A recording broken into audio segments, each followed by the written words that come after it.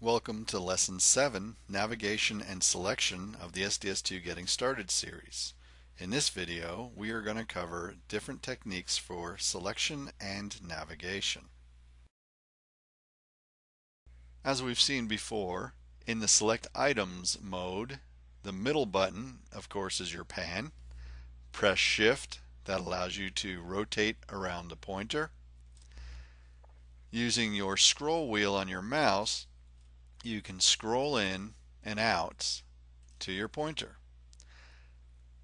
I'm going to open up the navigation drop down menu and I'm going to demonstrate just a few of these zoom commands.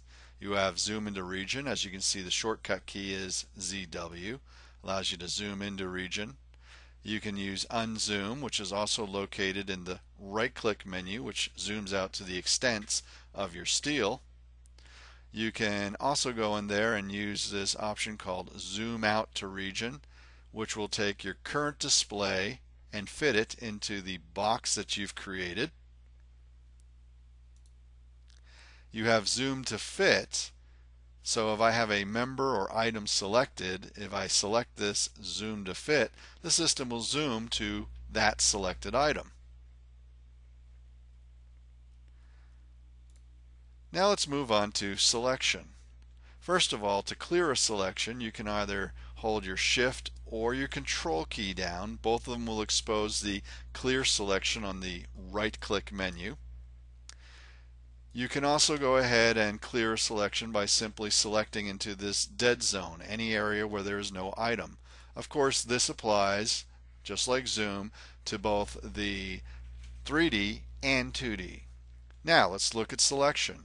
If I put my mouse on top of a member and left click, I can select a member.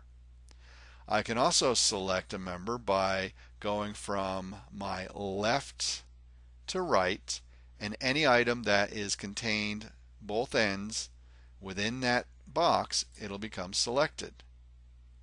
If I go the opposite direction from right to left it functions as a crossing for selection. I can remove from selection by holding down the control key while in the select items mode and you'll see there's a select minus which allows me to either single remove selection or I can use my crossing to remove selection. If I hold down my shift key in select item mode you'll see that there's the add to selection. I can either select this way by locating single or I can add to select using my crossing. When I hover on top of a member and right click, you'll also see that there are some other select items. In this case, I can right click and select to add to selection. Now with the right click, when I come in here and I select that member again, it will be removed from the selection. Now let's dealing with editing of members. If I come in and single select, in this case, a member or an item, it could be any item, it could be like a text in 2D. If I go in and select it and then hit edit, the system will open up that edit screen for that particular item, in this case, a member. If I double click on an item, that will go ahead and open up the item as well, just like other programs. If I select more than one item of the same member type, and I right click and I select edit, this will open up the multi-edit window as we can see at the top in the title.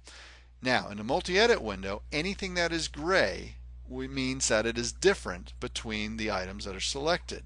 Now you do have the option here to type in and overwrite that gray which means that that difference will now be the same for all those items that are selected.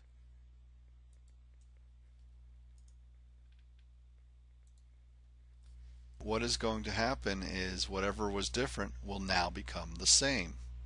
This will conclude this basic navigation and selection. After the process and create solids is done, within that video we will go further into the selection process.